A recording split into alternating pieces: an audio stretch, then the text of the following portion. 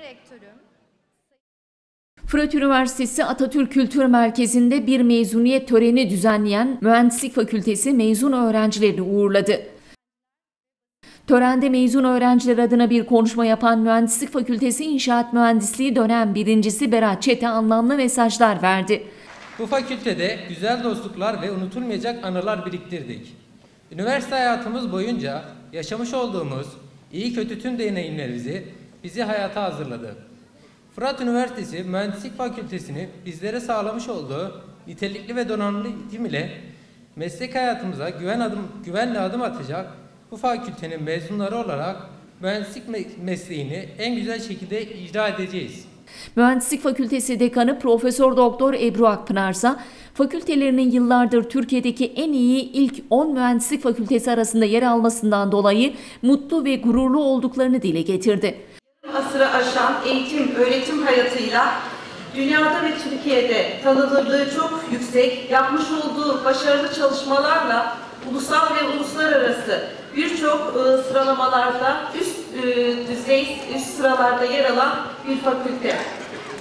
Türkiye'de araştırma geliştirme açısından en iyi ilk 20 üniversite arasında bulunan Fırat Üniversitesi'nde mühendislik fakültemiz yıllardır Türkiye'deki en e, iyi ilk 10 mühendislik fakültesi arasında bulunmakta. Aynı zamanda Fırat Üniversitesi bir araştırma üniversitesi oldu bu sene. Biz bunun gururunu yaşıyoruz. Törene Fırat Üniversitesi Rektörü Profesör Doktor Fahrettin Göktaş da katıldı. Profesör Göktaş da Fırat Üniversitesi'nin araştırma üniversiteleri arasında yer almasında Mühendislik Fakültesinin payının büyük olduğuna değinerek Mühendislik Fakültesinin verdiği eğitim açısından yüksek öğretim düzeyinde çok kaliteli bir eğitim verdiğinin altını çizdi. Bildiğiniz gibi e, bizim kanunlarımızda üniversitelerin e, e, üç tane temel görevi var. Bunlardan bir tanesi eğitim öğretim faaliyetleri, bir tanesi bilimsel araştırma faaliyetleri, bir tanesi de toplumsal hizmet. Topluma hizmet etmeniz gerekiyor bir şekilde ya da etkileşimde bulunmanız gerekiyor. Şimdi biz Eylül ayında bir kalite kurulu değerlendirmesine geçeceğiz.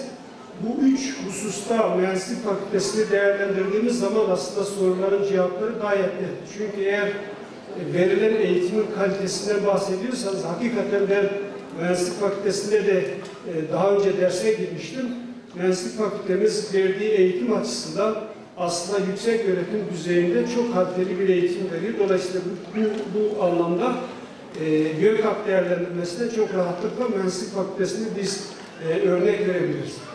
Konuşmaların ardından sıra genç mühendislerin mezuniyet belgelerini almasına geldi. Rektör Göktaş, Dekan Akpınar dereceye giren öğrencilere belge ve ödüllerini takdim etti.